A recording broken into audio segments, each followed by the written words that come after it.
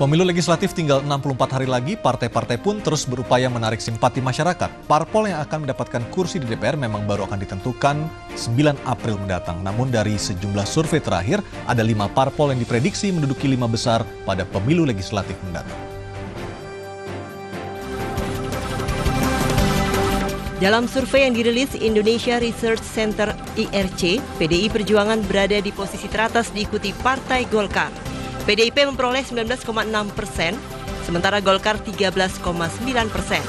Sedangkan Partai Gerindra, Partai Hanura, dan Partai Demokrat berada di posisi 3 hingga 5. Parpol peserta pemilu lainnya berada di bawahnya dengan angka kurang dari 8 persen.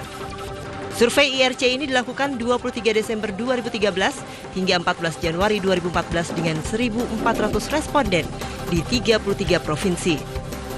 Survei dengan metode tatap muka ini memiliki tingkat kesalahan 2,6 persen dan tingkat kepercayaan 95 persen. Survei lingkaran survei Indonesia LSI juga menghasilkan Partai Golkar dan PDIP yang peroleh suara paling signifikan. Dari survei LSI terhadap 1.200 responden di 33 provinsi 6 hingga 16 Januari lalu, Golkar dan PDIP bersaing ketat.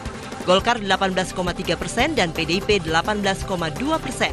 Sedangkan di bawahnya berturut-turut adalah Partai Gerindra, Demokrat, dan Hanura, masing-masing dengan perolehan suara 8,7 persen, 4,7 persen, serta 4 persen. Posisi lima besar parpol pemilu 2014 survei Roy Morgan Research International juga hampir sama. Hasil survei Roy Morgan terhadap 3.000 responden di 33 provinsi Desember lalu menempatkan PDIP dan Golkar sebagai urutan pertama dan kedua. PDIP meraih 26 persen, Golkar 20 persen, dan Partai Demokrat di urutan ketiga dengan 14 persen. Sedangkan di urutan ketiga hingga kelima adalah Gerindra, Hanura, dan PKB. Partai-partai papan tengah justru merosot di belakangnya termasuk PKS. Hasil survei ini bisa saja berubah pada hari pemungutan suara 9 April mendatang karena masih ada sekitar 30 persen responden yang belum menentukan pilihannya.